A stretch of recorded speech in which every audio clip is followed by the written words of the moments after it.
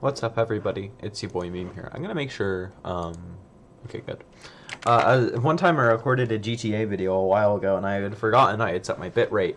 My bit rate, right? Let me check. Uh, I had forgotten that I had set my bit rate. That's right. To um ten thousand uh, to two thousand uh, kilobits a second. Uh, for getting over it, but uh.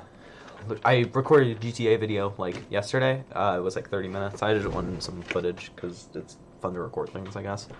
Um, and I put it up to 10,000. Uh, day 8. 8, 8, 8, 8, 8, 8. My window's open. I apologize for the background noise.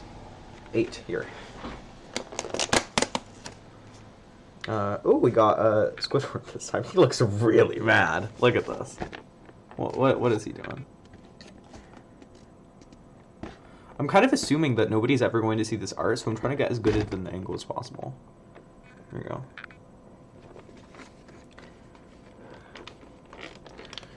Um.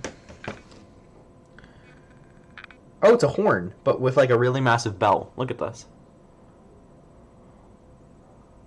Makes me wonder. Uh. Cause like you know. Uh. Okay. Uh.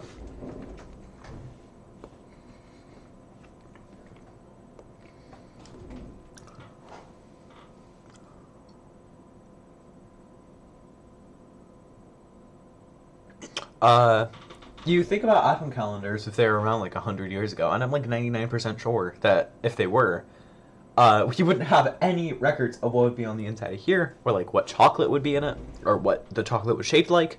Um, I'm not sure if we had the technology to do that back then, uh, but but we basically already have the internet. I mean, who knows? who knows, right? Uh,